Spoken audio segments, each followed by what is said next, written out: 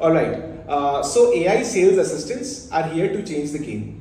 These assistants are automating everything from pre-meeting research to sending follow-up emails to your prospects.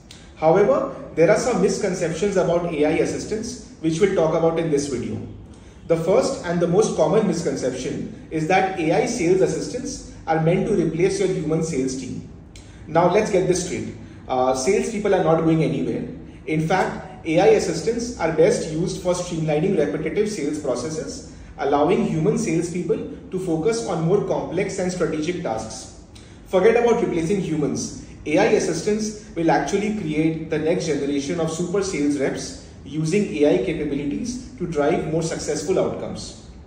The second uh, misconception is that AI agents can't handle complex queries. Wrong. Today's AI agents can manage multi-step tasks, process fast interactions, and even respond based on the tone and the context of the query.